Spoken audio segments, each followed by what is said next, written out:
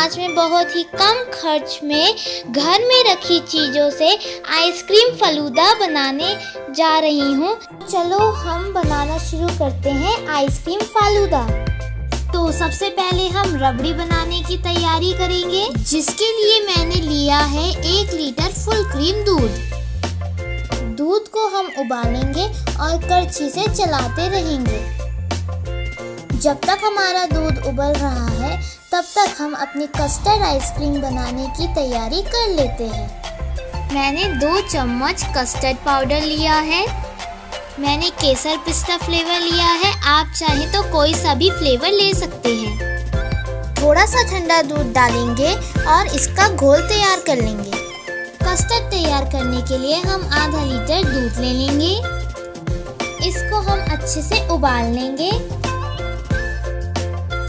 दूसरी तरफ़ हमने रबड़ी के लिए जो दूध लिया था, उसे हम बीच बीच में चलाते जा रहे हैं और अब वो आधा हो चुका है।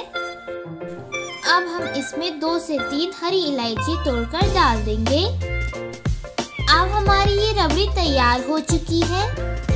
जितनी गाढ़ी हमें चाहिए, अब ये इतनी हो चुकी है। अब गैस का फ्लेम ऑफ़ करके एक चम्मच शुगर ऐड करेंगे। कस्टर्ड पाउडर का जो हमने घोल तैयार किया था, अब हम उसे गरम दूध में ऐड कर देंगे। अब हम इसे तब तक पकाते रहेंगे जब तक हमारा ये आधा ना हो जाए। इसे हमें कंटिन्यू चलाते रहना है ताकि इसमें लम्स ना पड़े। 20 से 25 मिनट हो चुके हैं, ये पकते पकते आधा हो चुका है। अब हम इसमें शुगर ऐड करेंगे। टेस्ट के अकॉर्डिंग मैंने चार चम्मच ली है। कटे हुए ड्राई फ्रूट्स इसमें ऐड कर देंगे। ये हमारा कस्टर्ड तैयार हो चुका है। ठंडा होने पर इसमें आधी कटोरी मलाई ऐड कर देंगे। इसे अच्छे से मिक्स कर लेंगे। ठंडा होने पर इसे एक प्लास्टिक के कंटेनर में डाल देंगे। पाँच से छः घंटे के लिए आइसक्रीम को फ्रीजर में जमाने के लिए रख देंगे। फालूदा बनाने के लिए वन फोर्थ कप बर्तन में दो कटोरी पानी बॉईल करेंगे। गरम पानी में सेवई ऐड कर देंगे। अच्छी से इसको चलाएँगे। सेवई हमारी बनके तैयार हो चुकी है। गरम सेवियाँ को हमने ठंडे पानी से धो लिया है। अब हमने अपनी आइसक्रीम फ्रिज से निकाल ली है।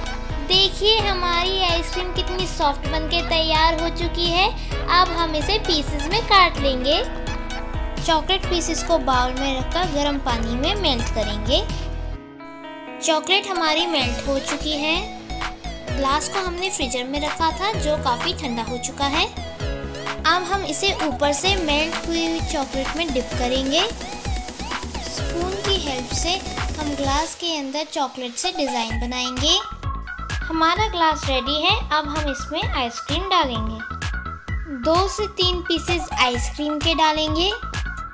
दो चम्मच सेवई, एक चम्मच रू अफ़ज़ा, उसके ऊपर दो चम्मच रबड़ी। यही प्रोसेस हम रिपीट करते रहेंगे जब तक हमारा ग्लास नहीं भर जाता। हमारा ग्लास भर चुका है, अब हम इसके ऊपर से चॉकलेट पीसेस लगाएँगे। तो देखिए फ्रेंड्स हमारी ये टेस्टी आइसक्रीम खाने के लिए तैयार हो चुकी है। मुझे पता है, अगर आप इसे एक बार बनाएँगे तो आपका इसे बार बार खाने का मन करेगा। सो इसे जल्दी से बनाइए। Thanks for watching please like share and subscribe my channel